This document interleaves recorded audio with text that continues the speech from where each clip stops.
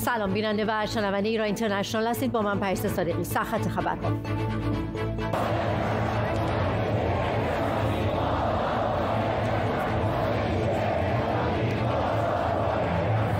فراخانهای اعتراضی و دعوت از مردم برای تبدیل 16 آذر به روز وحشت جمهوری اسلامی. علی یونسی و امیر حسین مرادی دانشجویان زندانی شریف می‌گویند خورشید آزادی را از پشت دیوارهای وین می‌بینیم. من رفتم کردستان. شما دیدید که یا آقای شکلاتی به من تو بازار آقا چه کردن با این بیچاره؟ عصبانیت رئیسی از عذرخواهی مغازهدار سنندجی که به او شکلات تعارف کرد. رئیسی مردم را دیکتاتور خواند.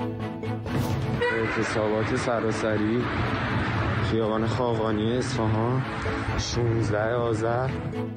تداوم اعتصاب ها در شهرهای مختلف ایران در 16 آذر ماه. ابراهیم رئیسی به اثر بخشی فراخوان ها و شکلگیری اعتصاب اذعان کرد.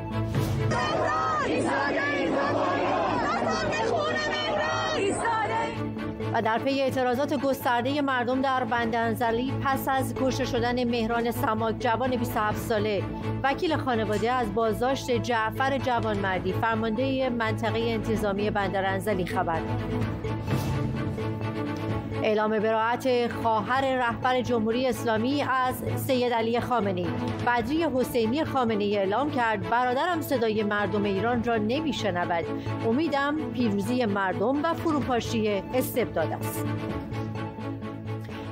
همزمان با ادامه خیزش انقلابی ایرانیان علیه جمهوری اسلامی و صدور فراخوانها برای اعتراض و اعتصاب در سراسر ایران از 14 تا 16 آذر ماه اعتراض و تحسن در بیش از ده دانشگاه امروز 16 آذر ماه و در روز دانشجو آغاز شده. دانشجویان دانشگاه های شریف، تهران، علامه، مازندران، گیلان، الزهرا، نوشیروانی بابل، علم و صنعت، صنعتی اصفهان، آزاد خراسکان، آزاد پونک، آزاد نجف آباد و هنر تبریز در فراخوانهای جداگانه اعلام کردن. امروز در محوطه دانشگاه تجمع می کنند. های گسترده برای شرکت در خیزش 16 آذر ماه و دعوت به تداوم اعتراضات مردمی از طرف جوانان محلات تهران به مناسبت روز دانشجو انجام شده. جوانان محلات تهران در بیانیه اعلام کردند 16 آذر را به روز وحشت حکومت تبدیل می کنیم و برای برگزاری تجمع سراسری فراخوان دادند در بیانیه جوانان محلات تهران تاکید شده 16 آذر می تواند نقطه عطف جنبش انقلابی علیه جمهوری اسلامی باشد.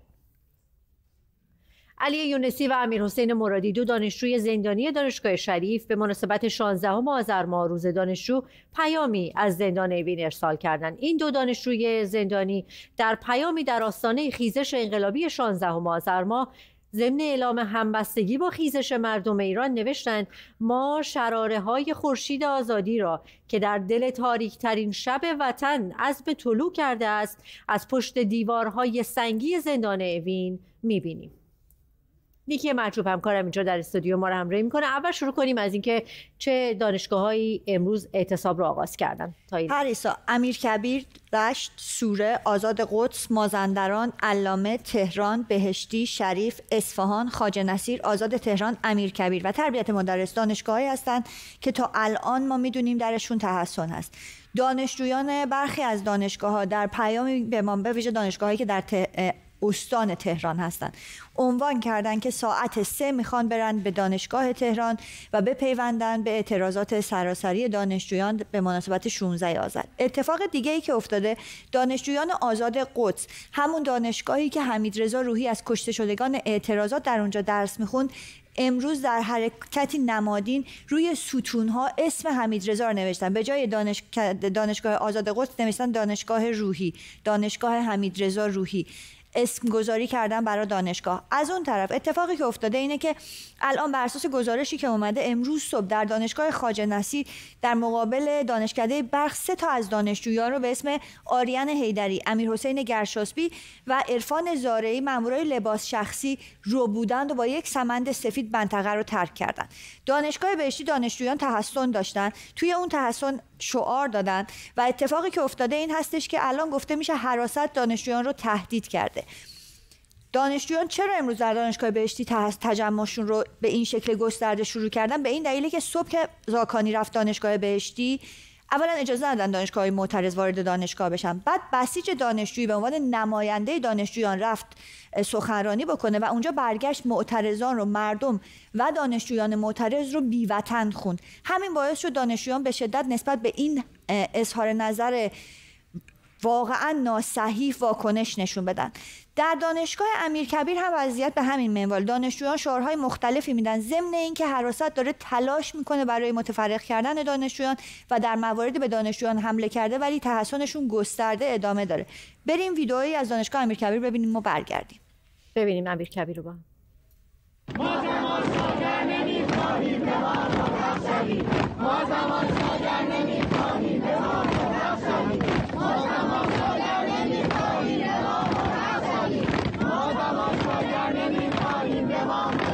Daddy.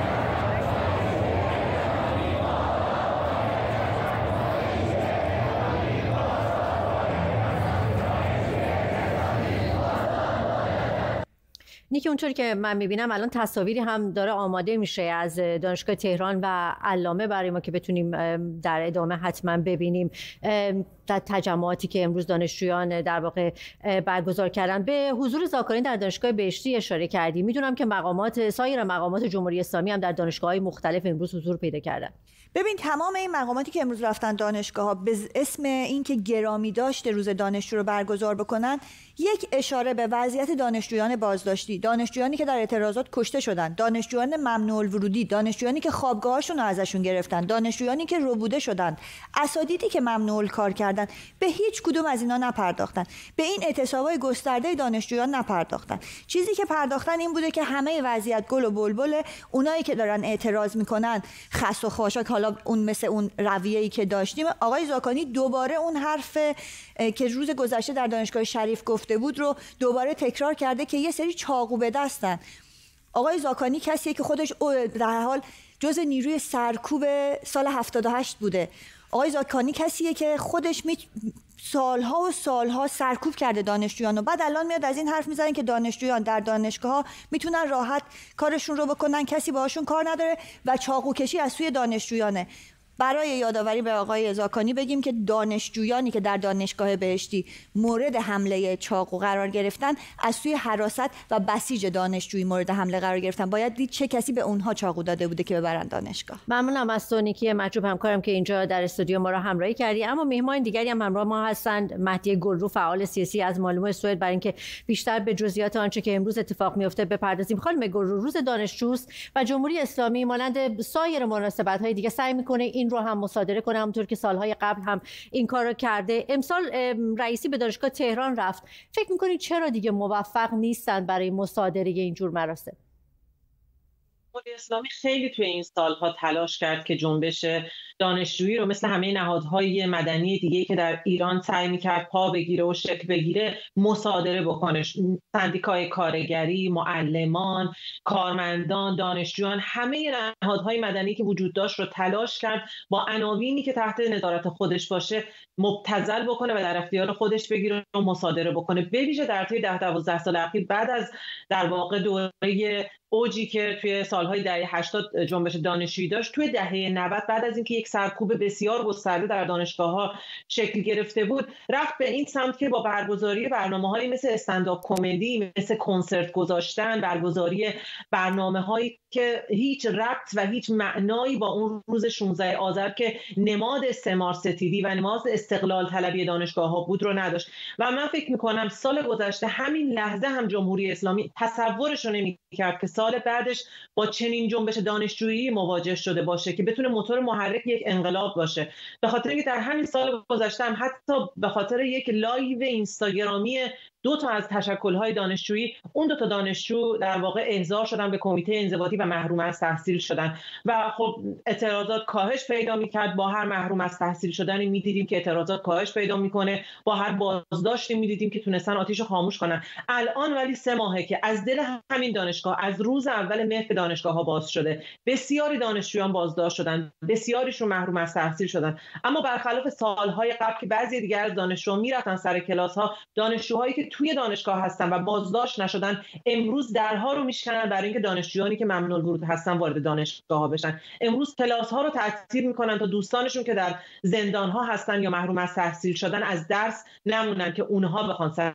کلاس درس باشن. و این معجزه ای هستش که جنبش دانشجویی در طی همین سه ماه همه رو متعجب کرده که چطور برخلاف این یک دهه گذشته که انگار که در سکوتی معنادار و عجیب بود جنبش دانشجویی الان به یک باره به یک انقلاب عظیم تبدیل شده. اشاره درستی کردید به اینکه در صف مقدم هستن دانشجویان در این خیزش انقلابی و شاید مسیر رو برای سایر مردمی که کمی هم مردد بودن باز کردن.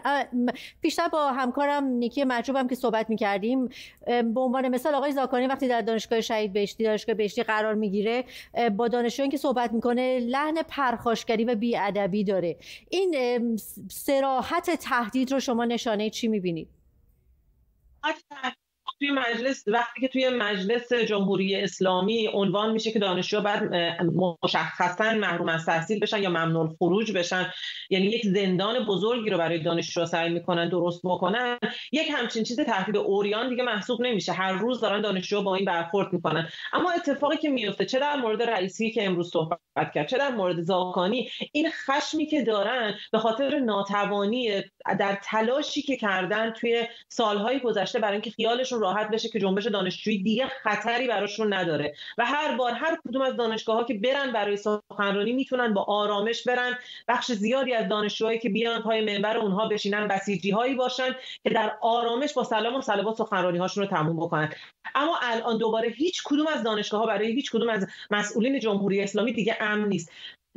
در واقع زاکانی و بقیه کسانی که دیروز و امروز سخنرانی داشتن در دانشگاه تمام تلاششون رو کردن که دانشجوها رو تحقیر کنن. و این یکی از حربه هاست وقتی که می‌بینی که قدرت در واقع مواجهه با نیروهای مقابلت رو نداری تلاش می‌کنی تحقیر کنی. زاکانی دیروز گفتش که شما کلمه انقلاب رو استفاده کنید برای دهانتون بزرگ قبلش باید مزه مزه بکنید انقلاب رو. به خاطر اینکه باورش نمیشه. تلاشی که کردن برای اینکه اساسا کلمه انقلاب رو از این نسل بگیرن انقلابیگری و مطالبه گری رو از این نسل بگیرن. اما الان می‌بینن تو روشون دانشجویی که دهه 80 هستش وای میسه و میگه ما می‌خوایم انقلاب بکنیم و این باعث میشه بسیار خشمگین بشن که در نهایت می‌بینیم که از این ادبیات استفاده می‌کنن. سپاسگزارم از توضیحات شما مهدی گلرو فعال سیاسی از مالمو سوئد. همزمان با فراخوانها برای اعتراض و اعتصاب دانشجویان ابراهیم رئیسی در جلسه مدیریت شده برای مصادره روز دانشجو به دانشگاه تهران رفت. ابراهیم رئیسی در سخنرانی خود ضمن اذعان به اعتصابات گسترده در ایران با اشاره به عذرخواهی یکی از کسبی کردستان که در استقبال از او شکلات تعارف کرده بود. معترضان را به دیکتاتوری متهم کرد. بر اساس اخبار رسیده رئیسی هیچ اشاره‌ای به کشتار و سرکوب مردم در خیزش انقلابی ایرانیان نکرده است. اگر یه جایی هم شما میگید آقا فلان جا من رفتم کردستان.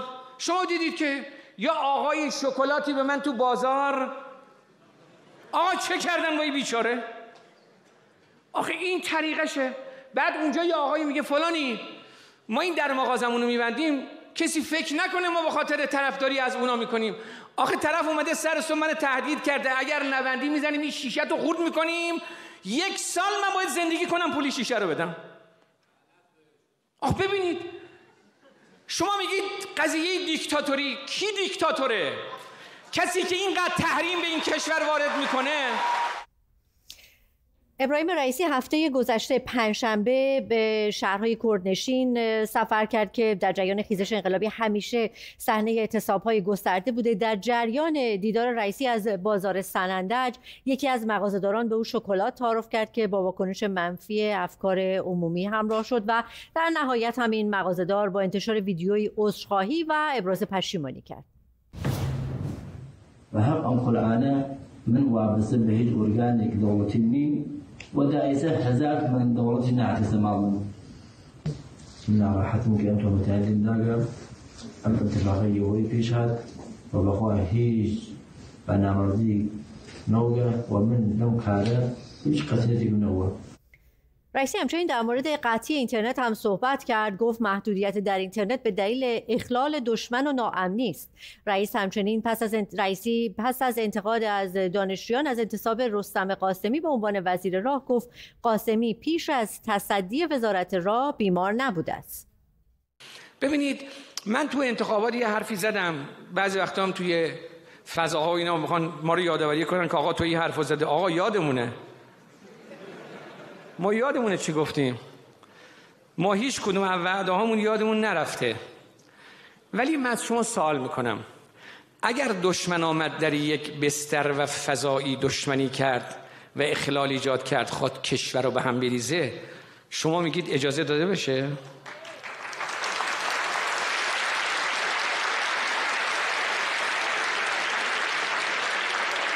آقا تو یک کوچه ای خیابونی تو یک اتاق خونی خودتون. یه اخلال ایجاد بشه به هم ریختگی ایجاد بشه به هم بریزن چه می‌کنید؟ میگید آقا من باید اینو جمعش کنم این قضیه رو. دلیل این محدودیت هایی که ایجاد شده عزیز و بزرگواری که اینجا می‌فهمن به دلیل اخلالی است که دشمن در این فضا ایجاد کرد ناامنی که ایجاد کرد و می‌خواست این بستر رو بستر اخلال ناامنی و اختشاش در کشور قرار بده. یه محدودیت سازی شده و حتما بدانید با وضعیت و شرایط امن شرایط حتما متفاوت خواهد شد.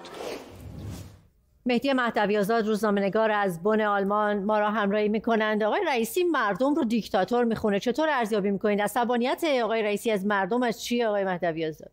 بله این میرزا شعر داره خطاب به خداوند. بهش میگه میگه تو تو تو, تو این آخوند و ملا آفریدی. تو توی چرت ما مردم دویدی. می‌دونید یعنی واقعا ادبیات این روزی روحانیون مشخصا آقای رئیسی که شما گوش می‌کنید واقعا بیشتر مجبورید با همون ادبیات ایرج میرزا حرف بزنید یا فکر کنید. همین کاری که در واقع تو انقلاب 1401 جوان ها می‌کنن شاید بخش از ما نفهمیم چرا. چون واقعا بعضی وقتا جز فوش شما نمی‌تونید تفسیر و تحلیل دیگه بدید. ببینید اصلا حیرت آوره حیرت آوره. تمام رسانه های کشور رو بستن همه چی در اختیار خودشون صبح تا شب دارن حرفای تکراری می‌زنن. 40 سال حرفای تکراری می‌زنن. بعد میره توی یه جلسه دانشجویی زندگی مردم تباه کردن. بعد توی جلسه دانشجویی دانشجو اعتراض می‌کنه. میگن دانشجو دیکتاتورن. آقای رئیسی دید با چه اعتماد به نفسی. میگه این معترضین دیکتاتورن. ببینید در در بولتن‌های محرمانه که منتشر شد از خبرگزاری فارس. شما خوندید چند جا که علی خامنه ای به مشخصا ابراهیم رئیسی انتقاد شدید کرده که چرا کم کار هست. جاهای دیگه هم می‌بینید فشار می‌ذاره پشت دولت یا مقامات امنیتی که میگه برید با معترضین مواجهه کنید برید توضیح بدید واسه مردم نمی‌دونم با رسانه‌های خارجی مقابله کنید و غیره. با شمخانی هم همینجور فشار میاره یک روی ماجراست. سوی دیگه ماجرا است که خود آقای خامنه‌ای در هفته‌های اخیر مشخصا بارها اومده گفته که خب نخبگان بیان در واقع دفاع کنند منظورش این است که همه بیان از من دفاع بکنند و علیه معترضان حرف بزنن. در تمام این مدت با وجود همه فشارهای خامنه ای ببینید کسی حاضر نشده بیاد ازش دفاع کنه. سقف کسانی که حاضر شدن هزینه بدن یا ابراهیم رئیسی است یا این لومپنی که الان به عنوان شهردار تهران در بر مسند قدرت نشسته دیروز سخنرانیشو در دانشگاه سنتی شریف شنیدید آدم شاخ در میاره که چنین کسی واقعا در مسند شهرداری تهران نشسته و مثلا نماد شهر پایتخت تهران هست نماد پایتخت تمدن فارس هست. تمدن ایران هست. معذرت می‌خوام پارس تمدن پارس اشتباهه تمدن ایران هست. منظورم این هستش که این سقف زور جمهوری اسلامی است. این اینها کسایی که علی خامنه‌ای دارن ژنرال هاش همین ها هستن. ابراهیم رئیسی اون آقای که شهردار تهرانه.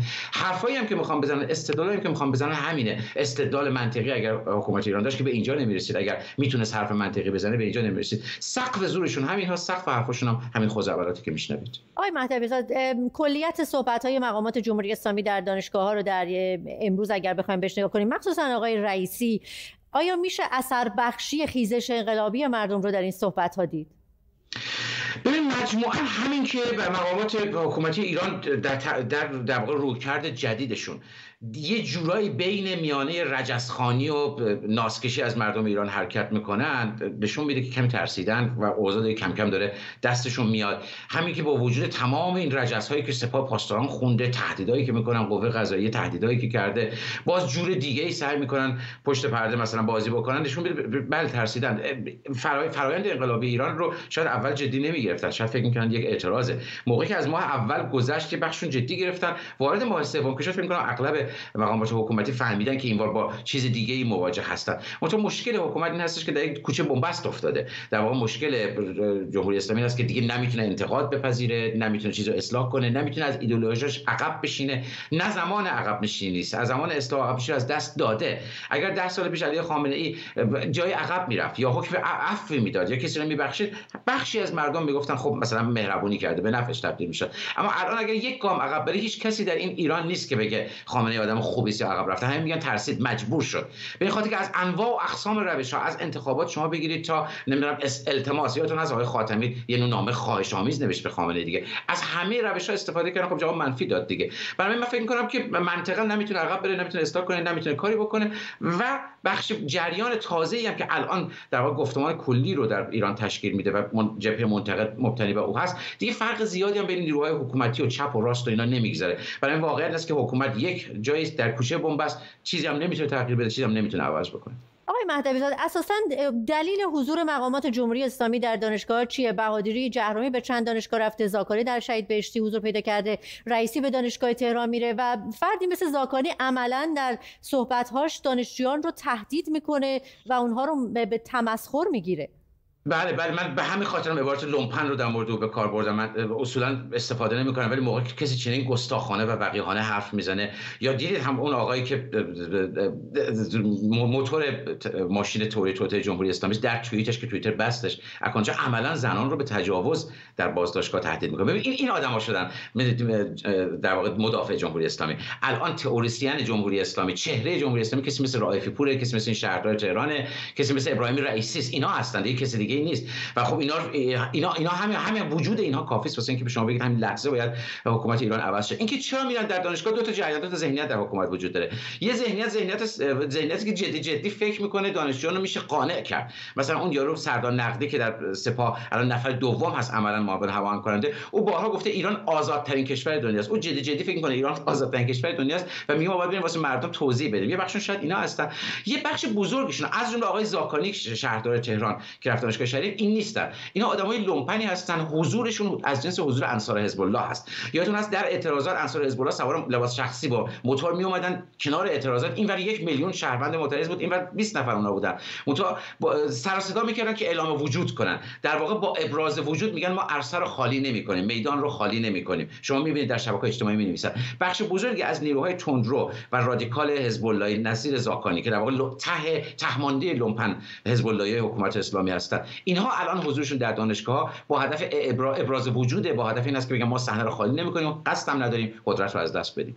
آقای مهدوی خیلی کوتاه. یک نگاهی هم بکنیم که ارزیابی شما چی هست از این سه روز فراخوان هایی که داده شد برای اعتراضات اعتصاب؟ حیرت آوره حیرت آوره. نه تنها اعتراضات نخوابیده بلکه بخش های محافظه کارتر جامعه ایران هم دارن به اعتراضات میپیوندن.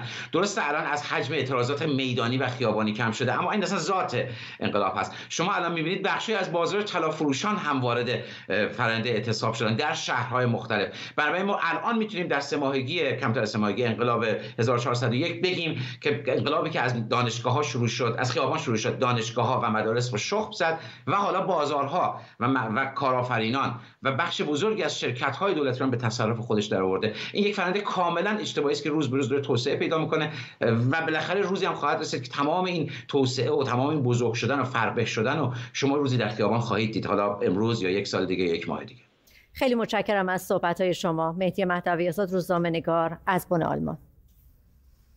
امروز سومین روز هست از دور جدید اعتصابات سراسری در کشور و تصاویری که ما دریافت می‌کنیم نشانگر این هستش که بازاریان و کسبه در ده شهر مغازه ها رو بستن و کرکره ها رو پایین کشیدن. قش های مختلف و جوانان محلات شهرها برای اعتصاب سراسری از 14 تا 16 آذر ماه فراخوان های گسترده ای رو منتشر کرده بودند. تصاویر رسیده به ایران اینترنشنال نشان می‌دهد در مناطق کردنشین اصفهان و شمال کشور و در تهران و خیابان فلسطین و بازار پوشاک اعتصاب ها آغاز شده.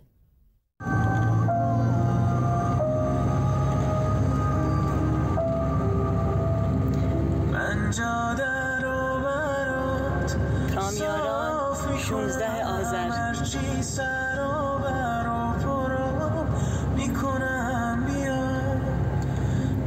درود به شرفتون. من از رومینو آذر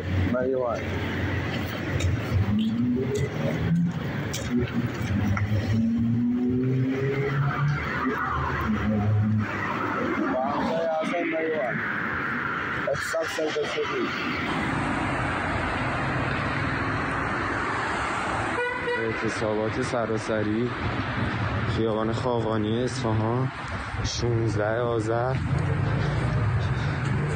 ساعت ده و چهل دقیقه. لیلا سعادتی همکارم اینجاست در استودیو. تو در این چند روز اعتصابات رو پیگیری کردی. امروز هم از صبح داشتی شهرهای مختلف رو می‌دیدم که پیگیری می‌کردی. چه خبر هست؟ چه شرایطی دارن شهرها الان؟ بله همونجوری که تصاویر داره به دستمون می‌رسه. ما سنجی می‌کنیم اونا رو و داریم منتشر می‌کنیم. ولی انقدر تصاویر زیاد است از شهرهای مختلف. مثل همین دو روز می‌تونم بگم که ده ها شهر از صبح مغازه‌دارها بازاریان قشرهای مختلف و اصناف مختلف مغازه رو بستن کرکرها اصلا بالا نکشیدن بعضی با همه این تهدیدهایی که وجود داره در یکی دو روز اخیر. همونجوری تو خبرها گفتیم مناطق کورتشین بیشتر شهرشون الان در اعتصاب هستن. اما از اصفهان بگم که شهرهای مختلفه در واقع استان اصفهان مثل فولادشهر زرینشهر شاهینشهر کاملا بسته است و بعضی از جاها گفتن که فقط داروخونه ها و اورژانسی و مواد غذایی باز هستش. و همچنین خیابون های مختلف مثل بازار نقش جهان اصفهان که خودت می‌دونی که خیلی توریستی هم هست اونجا کاملا بسته است و نیمه تعطیل میشه گفت.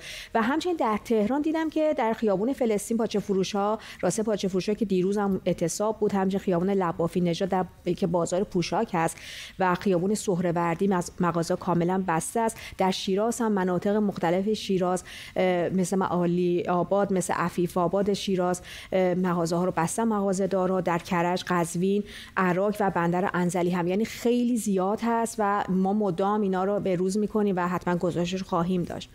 im اطلاعاتی که به ما رسیده این هستش که حکومت هم داره مقابله می‌کنه با این اعتصابات سعی می‌کنه که مغازه‌دارها رو وادار کنه به اینکه در واقع کرکره ها رو بالا بکشن دیروز همین اتفاق افتاده بود و رفته بودن و هم تهدید کرده بودن که نیروی انتظامی و تعزیرات طرف هستیم مثلا دیروز خیابون دلاوران شرق تهران که بازار مفروشاست اونا هم اعتصاب کرده بودن بسته بودن. ولی بسیج محل رفته بود با در واقع نیروهای حکومت بقیه‌شون رفته بودن.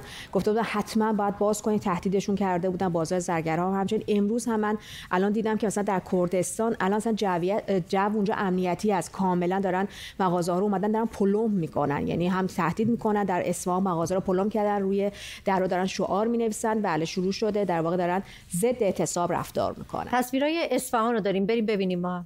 ممنون از تو لیلا. دو تا آقا اومدن. پلم مغازه هایی که باز کردن پلمشون رو دارن عکس می‌گیرن ببرن. سومین روز اعتراضات اصفهان خیابان خاقانی 16 آذر چهارشنبه. همه بستن.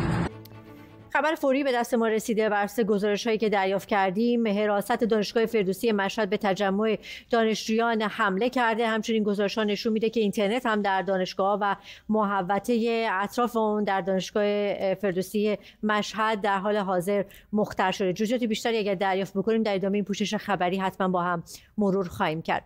در هفته دوازدهم خیزش انقلاب ایرانیان علیه جمهوری اسلامی دیشب بسیاری از مناطق تهران و دیگر شهرها از جمله رشت و انزلی صحنه اعتراض بوده و جوانان به خیابان آمدند. بخشی از این تصاویر رو با هم ببینیم.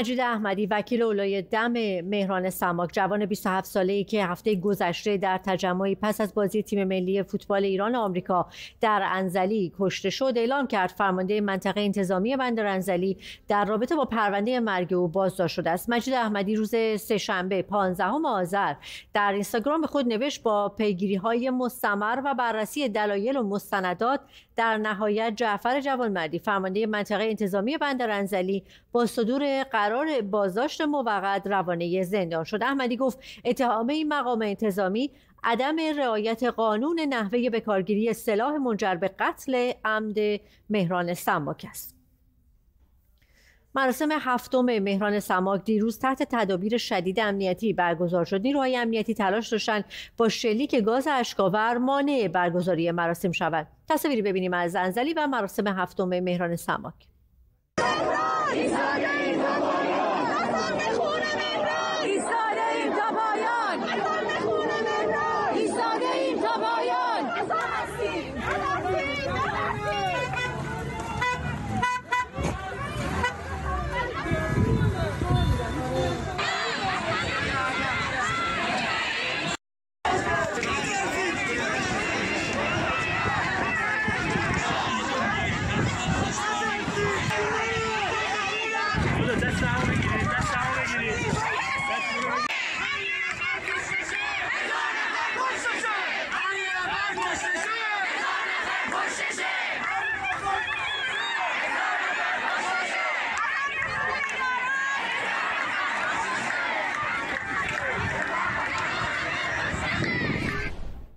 خبر فوری هم داریم از دانشگاه بهشتی همزمان با 16 آذر ماه که دانشجویان تحسن کردن بر اساس گزارشهایی که به ایران اینترنشنال رسیده ماموران حراست و لباس شخصی دانشجویان رو تهدید به بازداشت کردن. اما بپردازیم به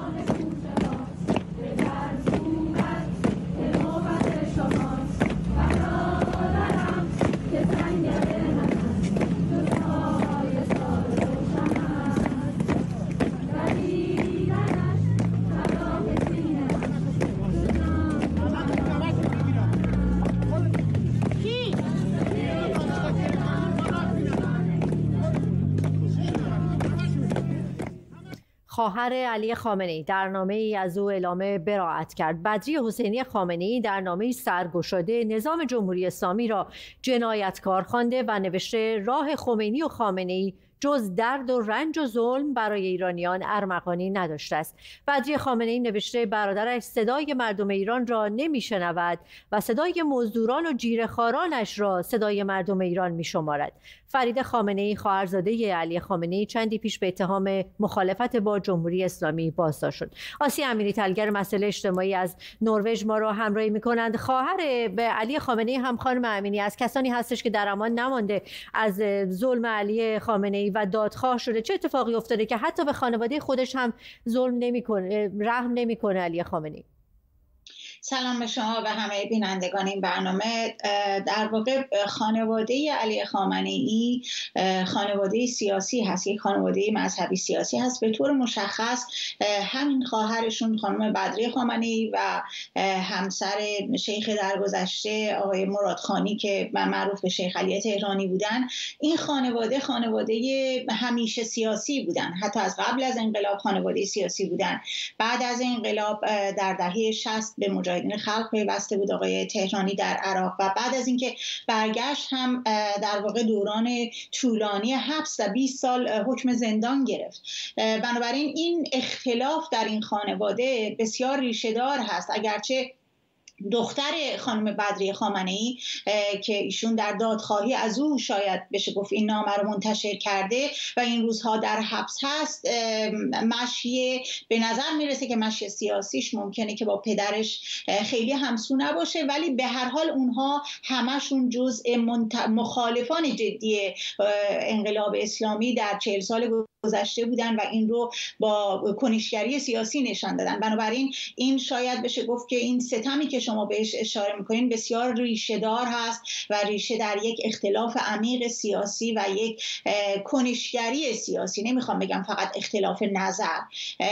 بنابراین این نامه ای که خانم بدری خامنه امروز دیروز منتشر کردن بسیار اهمیت داره. به خصوص در این روزهایی که کل ایران ندای اعتصاب سر داده این رو در عمل داره اجرا می‌کنه. در این روزها انتشار این نامه در حمایت از دخترشون و در اعلام براعت از رهبر جمهوری اسلامی اهمیت زیادی داره.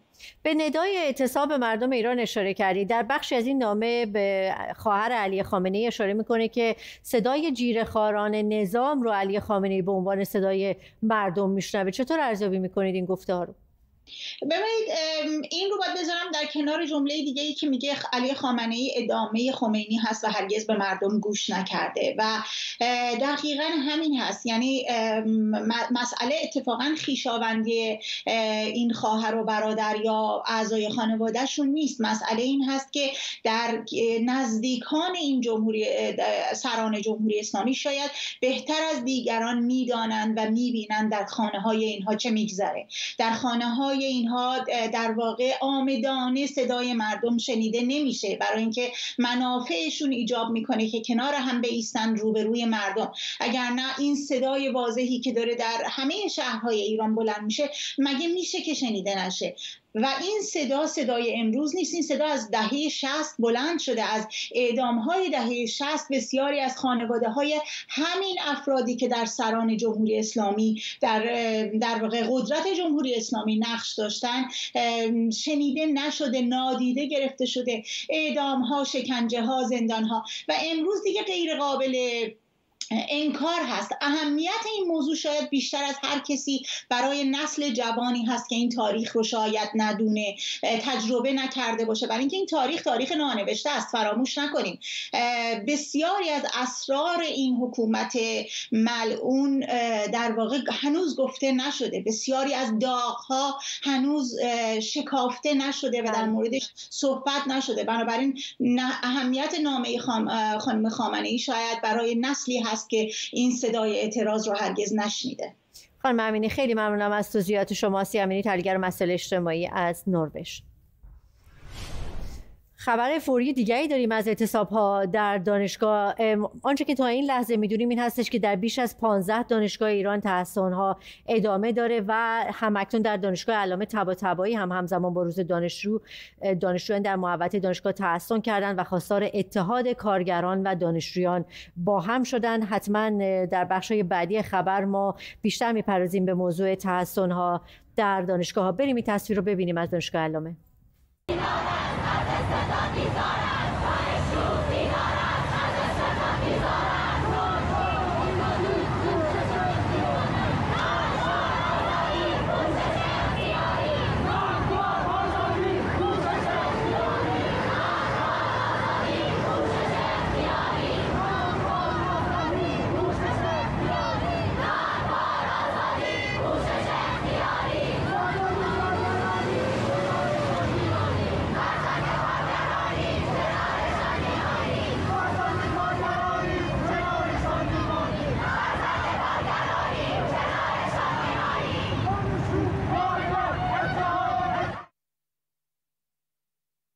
هم با هم بشنویم پیش از پایان برنامه.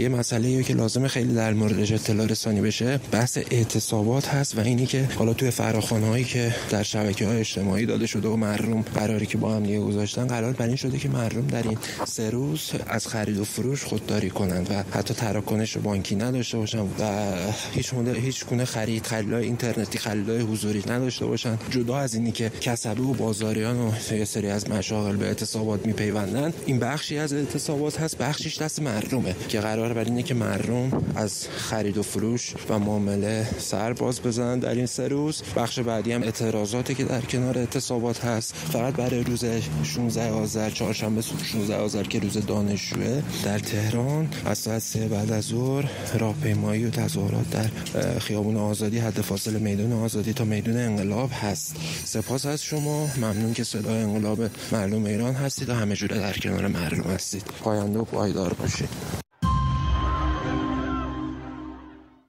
با سلام خدمت برنامه خوب ایران اینترنشنال. من یک جوان 23 سال اهل کردستانم. از همه مردم عزیز ایران خواهشمندم که در روزهای چهارده پانزده و شانزده آذر ماه که شانزده هم مصادف با روز دانشجو هستش. ازتون خواهش می‌کنم که یک بار برای همیشه بیاین که این قده سرطانی رو از بدن خارج کنیم و این بدن رو به روال زندگی عادی خودش هدایت کنیم. ازتون خواهش می‌کنم که توی خونه نشینین.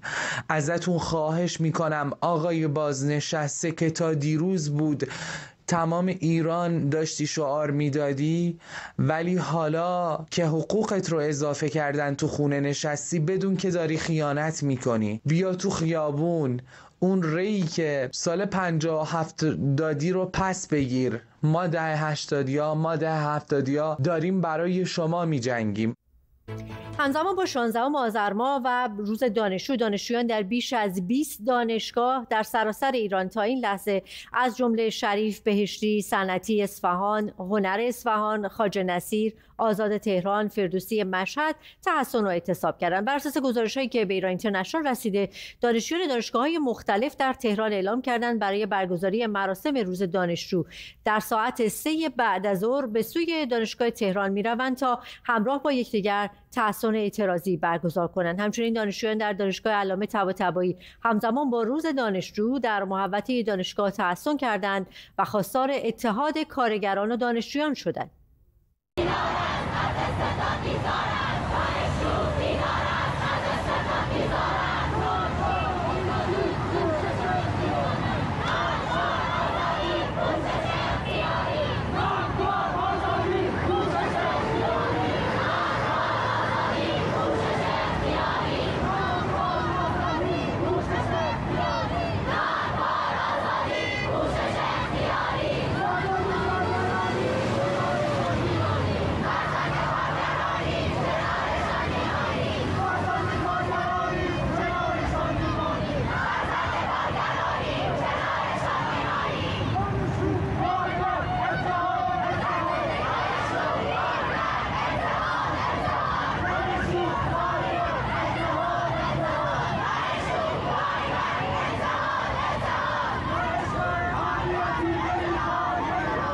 دانشجویان در دانشگاه بهشتی همزمان با 16 آذر تحسن کردند. بر اساس گزارشهایی که به ایران اینترنشنال رسیده ماموران حراست و لباس شخصی دانشجویان را تهدید به بازداشت کردند.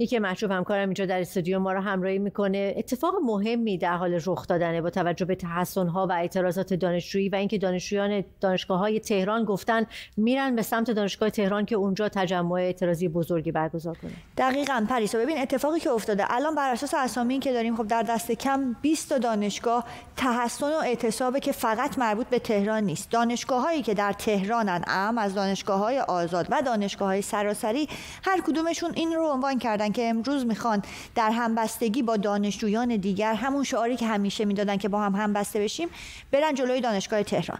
ساعت سه این تحسن قرار برگزار بشه. اما بخوایم بپردازیم به دانشگاهی که تا الان توشون تحسن و اعتصاب دانشگاه امیرکبیر رشت سوره آزاد قدس که دانشجویان در یه حرکت نمادین اومدن اسم حمیدرضا روحی از کشته شده های اعتراضات رو روی دانشگاه نوشتن. نوشتن دانشگاه حمیدرضا روحی دانشگاه مازندران علامه تهران بهشتی شریف اصفهان هنر اصفهان خواجه نصیر آزاد تهران تربیت مدرس فردوسی مشهد هنر معماری پارس علوم تحقیقات و دانشگاه رازی کرمانشاه دانشگاهی هستن که تا الان می‌دونیم توشون این اعتصاب ها و تحسن ها برگزار شده. احتمال اینکه به خاطر اختلال اینترنت تصاویر بعضی از دانشگاه ها دیرتر به ما برسه وجود داره. در این حال هم اینو می‌دونیم که تو دانشگاه خواجه نصیر همین امروز صبح یه تعدادی دانشجو رو بازداشت کردن. سه تا دانشجو رو در حال یه سمند سفید اومده و از جلوی دانشگاه برق برده. دانشگاه تهران همزمان با حضور رئیسی توی دانشگاه تعداد زیادی از دانشجویان رو ممنوع ورود کردن. دانشگاه بهشتی حراست دانشجویان رو تهدید کرده. یعنی با اینکه روز دانشجوه و مقامات جمهوری اسلامی دارن تو دانشگاه های مختلف میرن ولی ادعا می‌کنن دارن گرامی میدارن در اصلا دانشجویان رو بازداشت می‌کنن و آزار و اذیت بیشتر. دقیقا همینطوره. در روز دانشجو به دانشجویان فردوسی مشهد حمله کردن. دقیقا. در روز دانشجو به دانشجویان فردوسی مشهد حمله کردن که توی صحن دانشگاه حق دانشجویان اعتصاب کنن اعتراض بکنن و نیروی لباس شخصی نباید بیاد که اومدن دانشجویان رو زدن. در دانشگاه تهران هم در فایل صوتی که شوراهای سنفی دانشجویان منتشر کرده ماموران حراست حمله کردن به دانشجویان دانشجویان رو مورد آزار و اذیت قرار دادن. دانشگاه بهشتی دانشجویان دارن شعارشون رو میدن.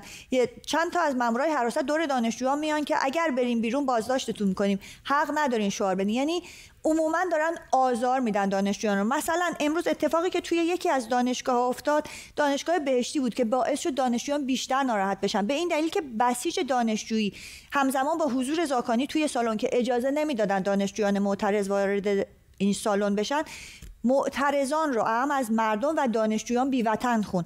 دانشجویان الان بحثشون اینه که اصلا برای چی یک فرد به عنوان بسیج دانشجویی به خودش این اجازه رو میده که اتهام بزنه. اونم اتهام بیپایه و اساس. رویه بسیج دانشجویی و حراست دانشگاه ها عموما همین شده. ما الان بیش از 500 دانشجوی بازداشتی داریم. تعداد زیادی دانشجوی ممنوع ورود به دانشگاه داریم. دانشجوها رو خوابگاهاشون رو ازشون گرفتن. اساتیدی که حمایت کردن رو هم عموما یا اخراج کردن یا بهشون گفتن اجازه فعالیت تا اطلاع ثانوی ندارن.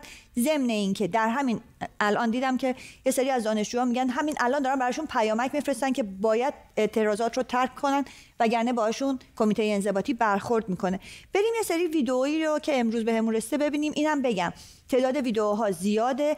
در بخشای مختلف خبری سعی می‌کنیم همشون رو پوشش بدیم. ممنونم از تو نیکی ببینیم این تصاویر رو.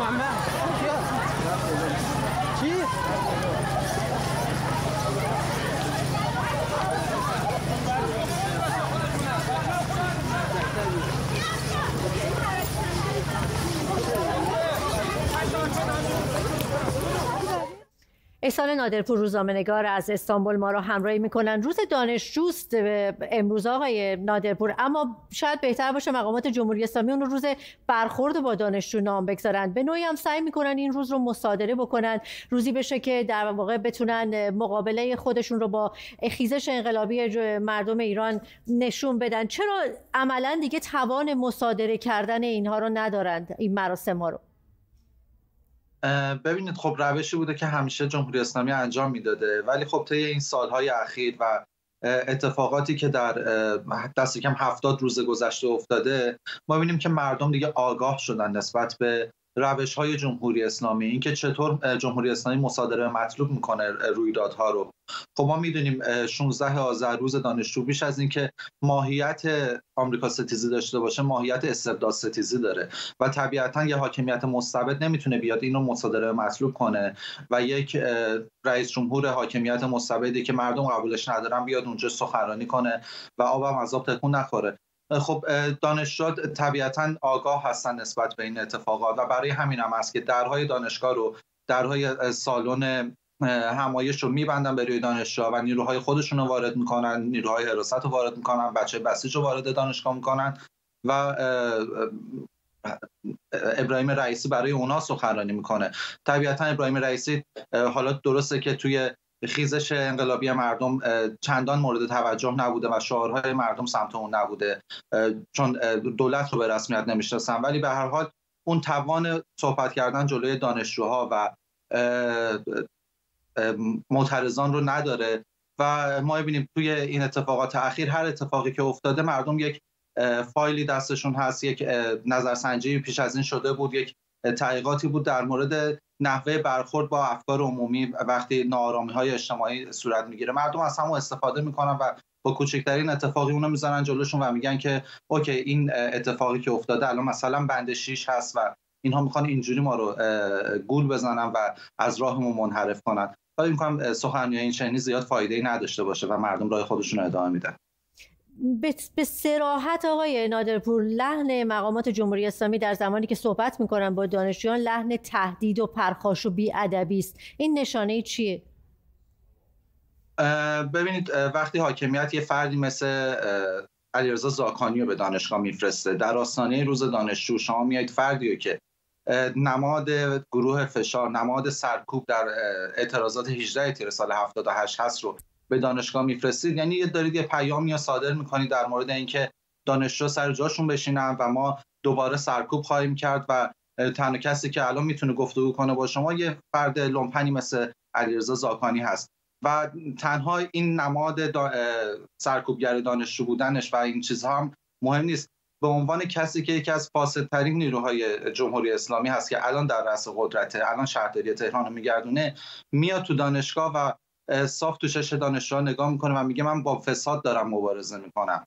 کسی که حتی صدای شورای شهر اصولگراه را هم در آورده کسایی که حامیش بودن کسایی که به فرموده اومدن این رو شهردار تهران کردن حتی بهش انتقاد داشتن و جرأت بیانش رو نداشتن و این فرد الان اومده با اون اعتصاب های فامیلیش میاد صحبت می‌کنه از اینکه من مبارزه با فساد کردم و من و شما حتی یک چک هم نمی‌تونید بخورید تو این راه. و خب این یعنی که ما می‌خوایم با شما برخورد کنیم و هیچ نشونه دیگه ای توش وجود نداره برای توجه به اینکه آقای نادرپور در صف مقدم اعتراض و تعصب بودن دانشجویان نقششون رو چطور می‌بینید در شکلگیری این خیزش انقلابی؟ ببینید طبیعتا این خیزش انقلابی که به راه افتاده از کف جامعه کف خیابون شروع شده. ولی نکته ای که وجود داره ما برعکس 18 تیر 78 که دیدیم دانشجو تو میدون بودن و مردم چندان حمایت نکردن از دانشجو و تنها موندن تقریبا دانشجو تو اعتراضات. می‌بینیم که اعتراضات از خیابون شروع شده و دانشگاه پای مردم ایستاده این بار. و روزی نبوده که مردم تو خیابون باشن و دانشجوها هم اعتراض نکنن و ما خبری از دانشگاه نشنویم. این روندی تداومی که دانشجوها دارن توی اعلام اعتراضشون توی همبستگی با مردم به نظرم می‌تونه یکی از نقطه قوت های این خیزش انقلابی باشه. ما ببینیم امروز هم به عنوان روز دانشجو به عنوان بهانه استفاده شده برای حضور در کنار مردم در خیابان. دانشجو از نقاط مختلف تهران ما داریم میشنیم که به سمت دانشگاه تهران میرن. دانشجوهای دانشگاه امیرکبیر به سمت در حافظ رفتن. اونجا تجمعشون رو شروع کردن و تا ساعت دیگه شاید به مردم ملحق بشن و تجمعات بزرگی اونجا شکل بگیره و امروز تبدیل به یک روز بزرگی در تاریخ 16 آذر بشه. از توضیحاتتون ممنونم. احسان نادرپور روزنامه نگار از استانبول همزمان با ها برای اعتراض و اعتصاب دانشجویان ابراهیم رئیسی در جلسه مدیریت شده. برای مصادره روز دانشجو به دانشگاه تهران رفت. ابراهیم رئیسی در سخنرانی خود ضمن اذعان به اعتصابات گسترده در ایران با اشاره به عذرخواهی یکی از کسبی کردستان که در استقبال از او شکلات تعارف کرده بود معترضان را به دیکتاتوری متهم کرد. بر اساس اخبار رسیده رئیسی هیچ اشاره‌ای به کشتار و سرکوب مردم در خیزش انقلابی ایرانیان نکرده. اگر یه جایی هم شما میگید آقا فلان جا من رفتم کردستان شما دیدید که یا آقای شکلاتی به من تو بازار آقا چه کردن با این بیچاره؟ آخه این طریقشه. بعد اونجا یه آقایی میگه فلانی ما این در مغازمون رو میبندیم کسی فکر نکنه ما به خاطر طرفداری از اونا می‌کنیم. آخه طرف اومده سر سو من تهدید کرده اگر نبندی می‌زنیم این شیشه رو خورد می‌کنیم. یک سال من باید زندگی کنم پولی شیشه رو بدم. آخ ببینید. شما میگید قضیه دیکتاتوری. کی دیکتاتوره؟ کسی که اینقدر تحریم به این کشور وارد می‌کنه؟ شهرهای کرنشین که در جریان خیزش انقلابی همیشه صحنه اعتصابهای گسترده بازاریان بوده پنجشنبه هفته گذشته ابراهیم رئیسی به این شهرها سفر کرد. در جریان دیدار رئیسی از بازار سنندج یکی از مغازهداران به او شکلات تعارف کرد که با واکنش منفی افکار عمومی همراه شد و در نهایت همین مغازهدار با انتشار ویدیویی عذرخواهی و ابراز پشیمانی کرد. و من وابسته به هیچ ئۆرگانێک دەوڵەتی نین وەدایزە هەزار من دەوڵەتی ناتەزە ماڵ ناڕاحەتم کە ئەم تۆمەتیان داگە ئەم ئەتفاقی ئەوەی پێش هات و وبقوا هيج بەنامەردی نەوگە ومن من لەم کارە به قطعی اینترنت هم ابراهیم رئیسی اشاره کرد گفت محدودیت در اینترنت به دلیل اخلال دشمن و ناامنی است رئیسی همچنین پس از انتقاد دانشجویان از انتصاب رستم قاسمی به عنوان وزیر راه گفت قاسمی پیش از تسری وزارت راه بیمار نبوده است. ببینید من تو انتخابات یه حرفی زدم. بعضی وقتا هم توی فضاها اینا می‌خوان ما رو یادآوری کنن که آقا تو یه حرف زده. آقا یادمونه. ما یادمونه چی گفتیم. ما هیچ کدوم از وعده هامون یادمون نرفته ولی من از شما سوال می‌کنم اگر دشمن آمد در یک بستر و فضایی دشمنی کرد و اخلال ایجاد کرد خود کشور رو به هم بریزه شما میگید اجازه داده بشه؟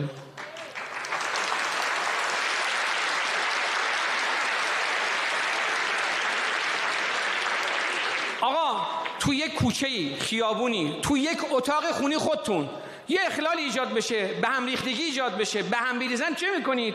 میگید آقا من باید اینو جمعش کنم این قضیه رو.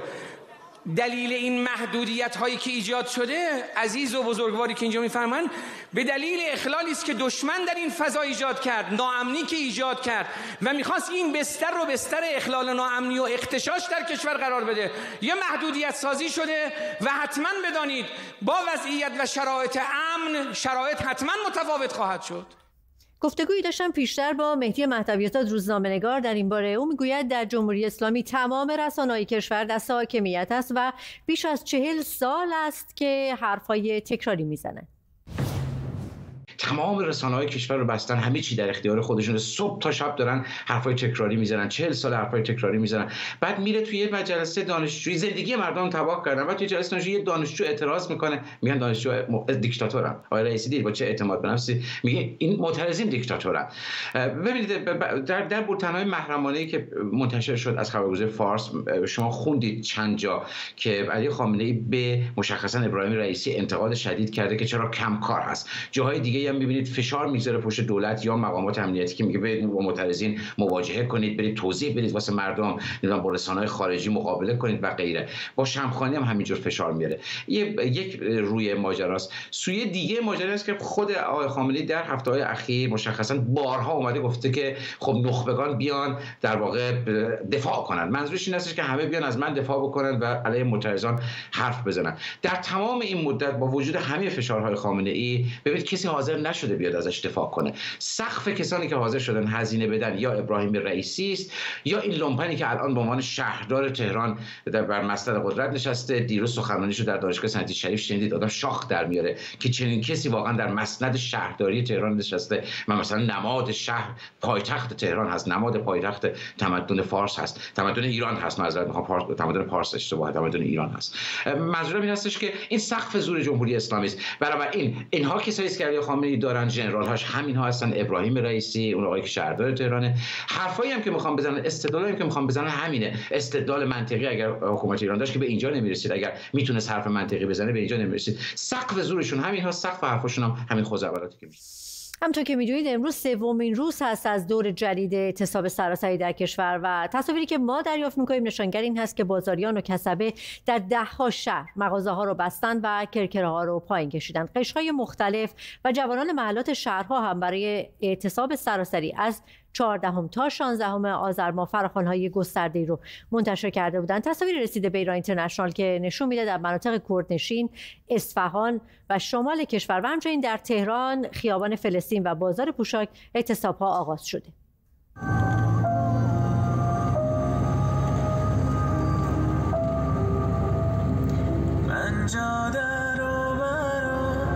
کامیاران 16 آذر.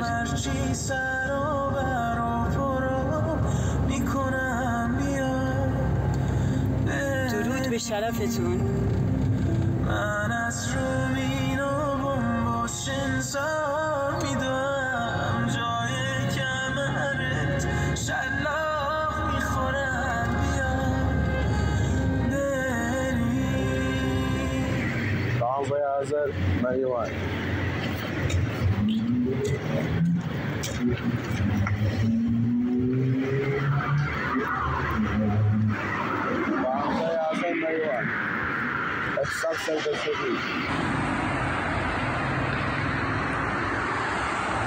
اعتصابات سراسری خیابان خاقانی اصفهان 16 آذر ساعت ده و چهل دقیقه.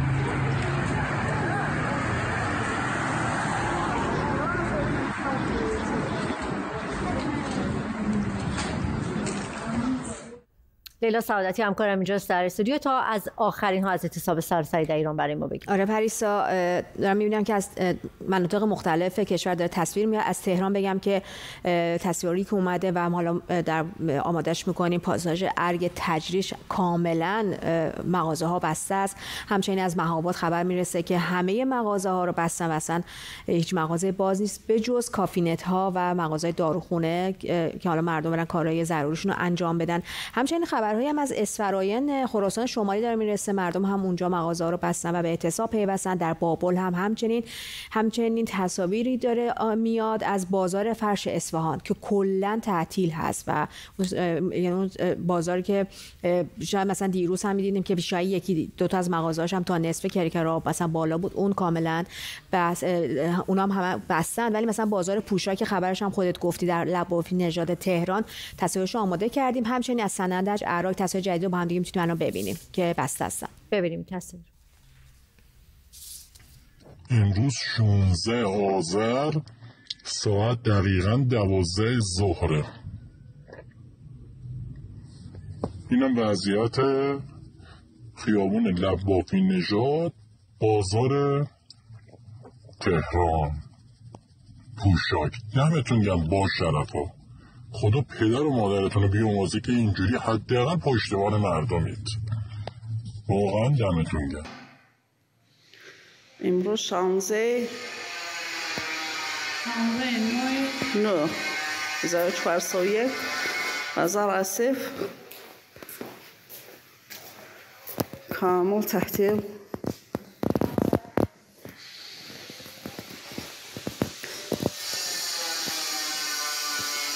بازار دیگه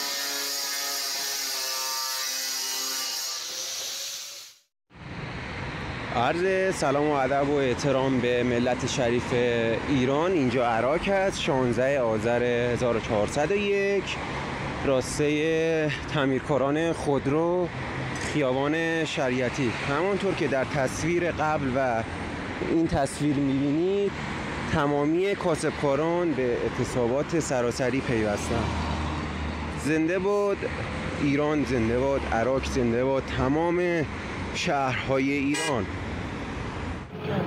16 آذر کازرون اعتصاب سراسری همه مغازه بستن.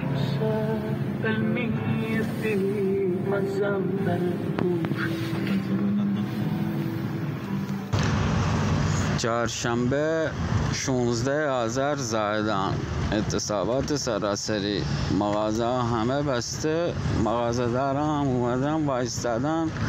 مغازه هاشونه کسی آتیش نزنه. امروز 16 آذر ما شهر اسلام آباد غرب اکثر مغازه ها توی اعتصاب هستن.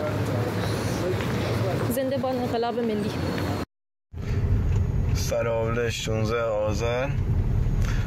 حتی با خواهش و تمنای فرماندار و یه سری مقامات دیگه که دیروز اومدم از مردم خواستن مغازه رو باز کنن امروز بازم شاهد اعتصابات صد درصدی هستیم.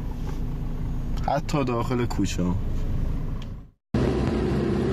بندر انزلی 16 آذر خیابون اصلی خیابون متحری مردم همه در اعتصاب مغازه بسته است. خدا شکر مردم متوجه شدن که باید اتحاد داشته باشن. رمز پیروزی اتحاد. درود به همه لیلا در یکی از همین ویدیوها در سرابله ایلان بود فکر می‌کنم که کسی که گزارش می‌داد اشاره کرد به اینکه حکومت داره سعی می‌کنه که این اعتصاب رو بشکنه و مغازه‌دارا رو وادار بکنه مغازه دقیقاً.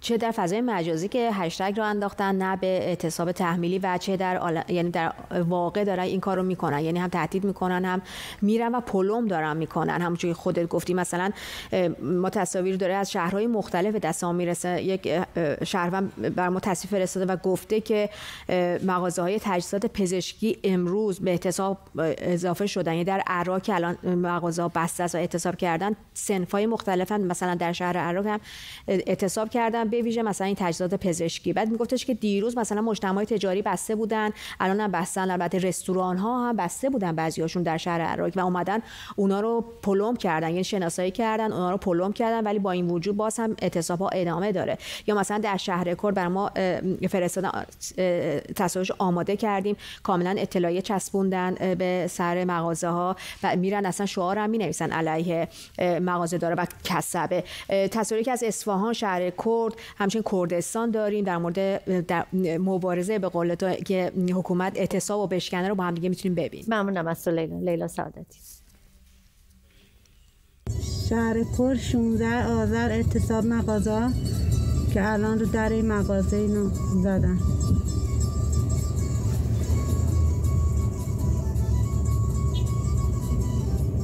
چند تا از مغازه همینجوره. این دو تا آقا اومدن پلم مغازه هایی که باز کردن پلمشونو دارن عکس می‌گیرن ببرن. سومین روز اعتراضات اصفهان خیابان خاقانی 16 آذر چهارشنبه. همه بستن. 16 آذر. ساعت ده صبح. از بسیط مجید احمدی وکیل اولیای دم مهران سماک جوان 27 ساله‌ای که هفته گذشته در تجمعی پس از بازی تیم ملی فوتبال ایران آمریکا در انزلی کشته شد اعلام کرد فرمانده منطقه انتظامی بندر انزلی در رابطه با پرونده مرگ او بازداشت شده. مجید احمدی روز سهشنبه 15 آذر ماه در اینستاگرام خود نوشت با پیگیری های مستمر و بررسی دلایل و مستندات در نهایت جعفر جوانمردی فرمانده منطقه انتظامی بندر انزلی با صدور قرار بازداشت موقت روانه زندان شد. احمدی گفت اتهام این مقام انتظامی عدم رعایت قانون نحوه بکارگیری سلاح منجر به قتل عمد مهران سماک است. مراسم هفتم مهران سماک دیروز تحت تدابیر شدید امنیتی برگزار شد. نیروهای امنیتی تلاش داشتند با شلیک گاز اشکاور مانع برگزاری مراسم بشن. ببینیم بخشی از این تصاویر را از انزلی و مراسم هفتم مهران سماک.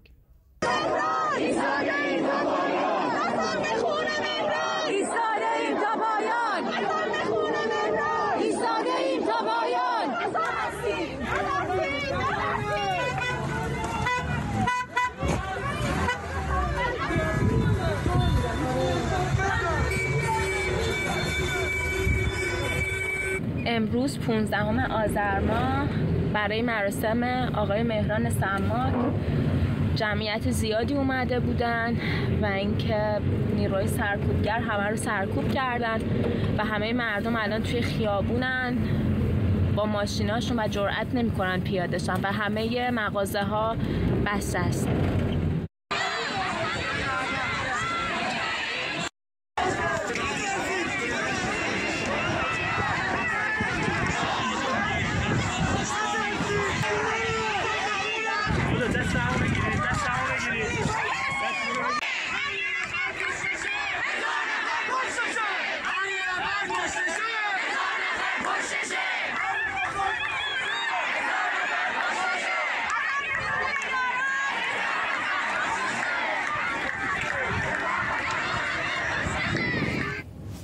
رضا حاجی حسینی روزنامه نگار از مالمو سوئد ما رو همراهی می‌کنن. آقای حسینی بعد از قتل مهران سماک اعتراض های گسترده شکل گرفت و در پی اون حالا خبر رسیده که فرمانده انتظامی منطقه دستگیر شده. آیا واقعا جمهوری اسلامی به دنبال پیدا کردن قاتله سوال سختی است با توجه به اینکه به حال ما می‌دونیم جمهوری اسلامی یک نظام پاسخگو نیست. از هیچ وقت مخصوصا فرماندهان نظامی رو علی خامنه ای اجازه نمیده که به نوعی قرار باشه پاسخگو باشند برای سرکوب. منتها یک نکته رو می‌خوام توجه بدم و اون اینکه هنوز منبع رسمی درباره این خبر صحبت نکرده. این خبر رو چنان که در گزارش شما و خبرهای شما هم بود سید مجید احمدی به عنوان وکیل اولیای دم مهران سماک نوشته و یکی از اولین رسانه هم که اون رو کار کرد گیل خبر بود که خبرهای محلی رو در گیلان و رشت پوشش میده. قرار است اطلاعات بیشتری در این باره منتشر بشه. منتها اولین روایت هایی که اتفاقا در ایران اینترنشنال هم ارائه شد و منتشر شد درباره نحوه کشته شدن مهران سماک همین بود که از قول شاهدان عینی نقل شده بود که فرمانده منطقه انتظامی بندر انزلی جعفر جوانمردی با شاتگان و به طور مستقیم به مهران سماک شلیک کرده در حالی که او داشته بوغ می‌زده. شب هشت آذر سه شنبه شب وقتی که تیم جمهوری اسلامی تیم فوتبال جمهوری اسلامی باخت به تیم آمریکا خب مردم در شهرهای مختلف به خیابان آمدند و شادی کردند. نتیجه اون شادی این شلیک مرگبار بود. یک پیام مهم اینجا وجود داره. حالا این بحثایی که ما تا الان مطرح کردیم کنار. پیام مهم این ماجرا با فرض صحت خبر و اون چیزی که در واقع اتفاق افتاده است بازداشت فرمانده منطقه انتظامی بندر انزلی این است که نیروهای سرکوب باید مطلع باشند و بفهمند که اولین کسانی که قربانی خواهند شد در این جریان به ثمر رسیدن این خیزش انقلابی اونها هستند. کما اینکه الان ما این کیس رو این پرونده رو می‌بینیم چند روز بیشتر نمیگذره از اینکه خبر رسید که عباس درویش توانگر که بولتن نویس فرمانده سپاه پاسداران بود بازداشت شده یعنی به فاصله در واقع چند ساعت شما از مقام بولتن نویس فرمانده سپاه تبدیل میشید به دشمن نظام. این اتفاقی است که باید عوامل سرکوب بهش توجه بکنند پیام روشنی است برای اونها که اولین قربانیان این تغییر وضعیت اونها هستند آقای به حاجی حسینی در قتل شهروندان به دست به ماموران جمهوری اسلامی در واقع این آقای جعفر جوانمردی اولین اونها نیست. به دست ماموران حکومتی صدها نفر از شهروندان کشته شدن. مخصوصا حالا همین سه ماه رو اگر بخوایم در نظر بگیریم. چرا جمهوری اسلامی هیچ مسئولیتی به گردن نمی‌گیره و تنها به دنبال پیدا کردن یک مأمور هست برای اینکه همه مشکلات و تمام تقصیرها رو به گردن اون بندازه؟ ببینید این در واقع استفاده از لباس شخصی ها استفاده از اسلحه هایی که از اونها به عنوان غیر سازمانی یاد میشه. اینها همه به ما میگه که قرار نیست جمهوری اسلامی مسئولیت بپذیره. برای اینکه اون وقت آقای امیر عبداللهیان بتونه بره و اعلام بکنه که هیچ کس از معترضان با شلیک نیروهای امنیتی کشته نشدند. این یک قاعده است. یعنی ما می‌بینیم ماموران لباس شخصی بدون اینکه یونیفرم داشته باشند شلیک می‌کنند اسلحه به دست دارند. حتی فراتر از اون وقتی ماموران در لباس پلیس شلیک می‌کنند فرمانده انتظامی در کشور میاد اعلام می‌کنه که اینها پلیس نما هستند. یعنی این الگوی مسئولیت ناپذیری این الگوی سپردن در واقع مسئولیت کشتار به عوامل خودسر یا دشمن اساسا به یک سطح غیرقابل باور و به عبارت دیگه به یک سطح کمیک رسیده. این این چیزی نیست که در واقع در یک نظام منطقی در یک سیستم و حاکمیت اصولی بشه در واقع وجود داشته باشه. ما می‌بینیم الگوی حکمرانی بد رو می‌بینیم که چگونه شهروندان برای سیستم به رسمیت شناخته نمیشند و به آسانی می‌شود اونها رو کشت بدون اینکه مسئولیتی پذیرفت. رضا حاجی حسینی روزنامه‌نگار از مالمو سپاسگزارم از توضیحات شما. همطور که پیشتر هم اشاره کردیم تحسن در بیش از 20 دانشگاه در سراسر ایران ادامه دارد و دانشجویان در دانشگاه علامه طباطبایی همزمان با روز دانشجو در محوطه دانشگاه تحسن کردند و خواستار اتحاد کارگران دانشجویان شدند.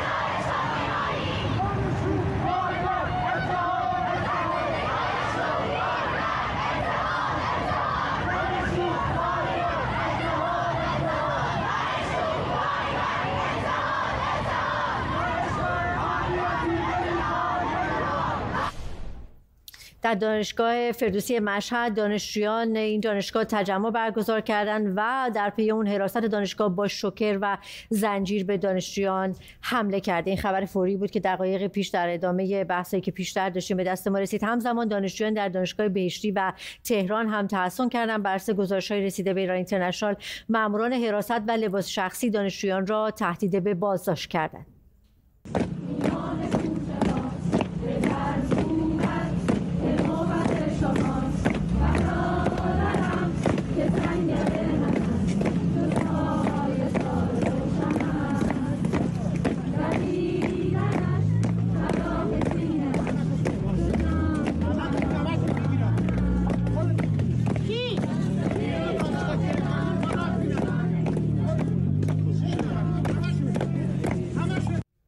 نیکی مطلوب اینجا در استودیو ما رو همراهی می‌کنه. حمله با شوکر و زنجیر به دانشجویان در دانشگاه فردوسی مشهد. حمله با شوکر و زنجیر در دانشگاه فردوسی مشهد. حمله به دانشجویان در دانشگاه بهشتی. حمله به دانشجویان و بازداشت دو تا اون از اونها عملا رو بودنشون و بردنشون به حراست دانشگاه تهران.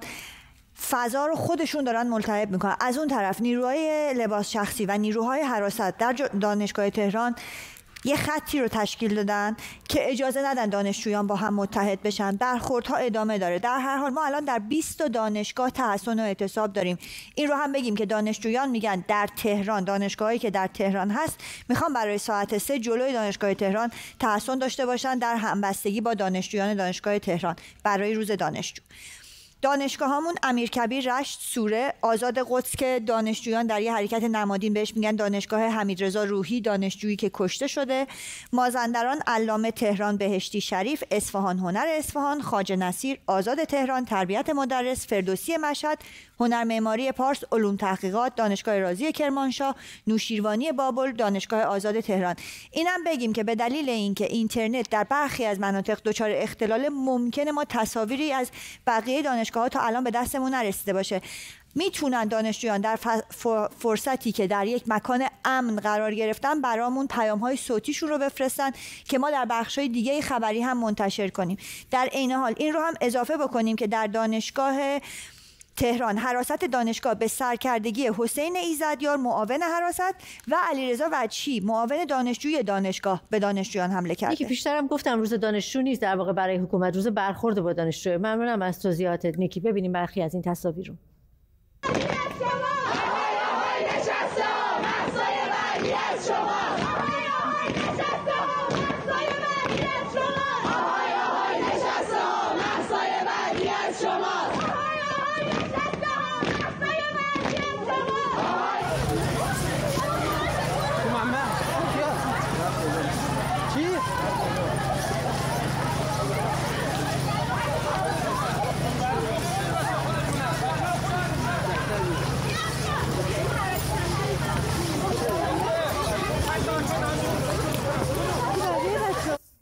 خیلی ممنونم که تا این لحظه با ایران اینترنشنال ما رو همراهی کردید. در این پوشش ویژه ما ساعت سه بعد از اون مجددا با شما خواهیم بود و خبرهای بیشتری خواهیم داشت و جزئیات بیشتری از آنچه که در دانشگاه ها در سراسر ایران امروز میگذره در ادامه اعتراضات و اعتصابات دانشجویی. همراه ما باشید.